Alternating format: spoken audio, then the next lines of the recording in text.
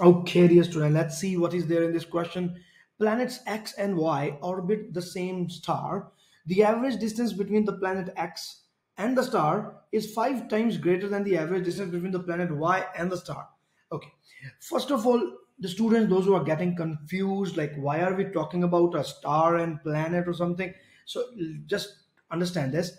Sun is an example of a star and two planets means like they're talking about two planets moving around the sun.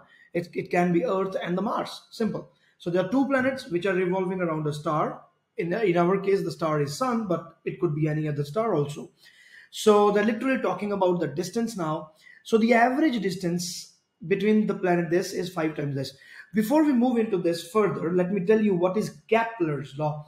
So kepler's law is a topic that has been added into the new syllabus, but it was not that very popular in the old syllabus, I can say. So Kepler's law uh, now is completely done, and um, uh, we would be getting questions on this, no doubt about it. There are three Kepler's laws. The Kepler number one is that all the orbits of the planet around the sun they are elliptical. Point number two is about the uh, velocity of the planets. So we would be discussing it later. And the point number three, which is important for this particular question, is that the square of the time period is directly proportional to a cube, where a is the semi-major axis of the orbit. Like let's say this is the ellipse and this is the sun. This is the sun. So the maths students, um, they would be able to understand what is happening here. This is the ellipse ellipse is having two focus here. Now this is f1 this is like there will be another focus which is f2 but f2 is not having any astronomical body there. So it's only sun here. And the planet is moving around along this elliptical path. Now if i divide this ellipse into two parts or like four quadrants like this this is known as major axis. And this is known as minor axis now, the half of it is called semi-major axis. So this distance is called semi-major axis, which is A, and this is called the semi-minor axis, which like the distance is taken as B, but that is not important for us. In this case, we are only concerned with A, so that is the most important thing. So that is what they have given. It is the average distance between the planet Y and the star. So average distance between the planet and the sun is taken to be this semi-major axis and that is A. Now the Kepler's third law says that t square is directly proportional to a cube and accordingly the orbital time period for x. So it means that we want tx divided by ty whole square will be equal to the distance of the planet x from the star and the distance of planet y from the star and the ratio and then we would be taking cube of it.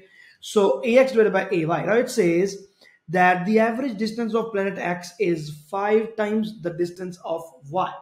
So AX is five times this. So this can be cancelled like this. It means it will become 125 and the orbital this is Tx divided by Ty square. Now what do we want to find? We want to find the ratio of orbital period of X to Y. So we have to just take the square root here so it will become 125 square root or you can say 25 into 5. So that will be 5 root 5 like that. But uh, they have even given different um, um, variation. So what we can say is 125 can be written as 5 cube. Okay. And then the square root is there. So it is 5 raised to power 3 by 2. So D will be the correct answer. 1 by 2 is written as the square root and 5 cube is like 5 cube. So the student those who are still getting confused it is like this. So this can be written as cube root uh, square root of 5 cube. This is what they have done. And the answer for this question will be 5 for will be d. So uh, this topic is kepler's law.